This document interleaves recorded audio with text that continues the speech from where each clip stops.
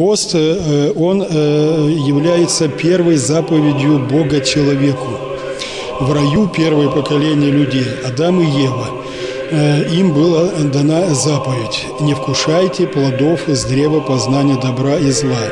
Церковь богословие православное интерпретирует эти слова не иначе, как заповедь о посте. Пост – это не бессмысленное упражнение в каком-то там голодании и не какая-то диета.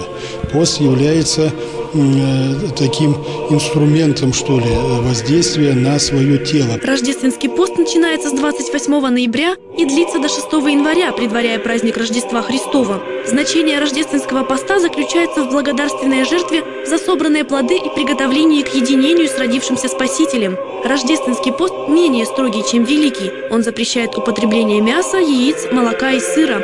Причиной такого запрета, по словам священнослужителей, является то, что животная пища возбуждает в человеке похоть и склонность к лени. Допускается э, вкушение рыбы, э, растительного масла э, и небольшого количества вина в те дни, когда в церкви идет служба полиелейная или всеночное бдение. Грибы, орехи, ягоды, крупы – все это разрешено употреблять в дни поста.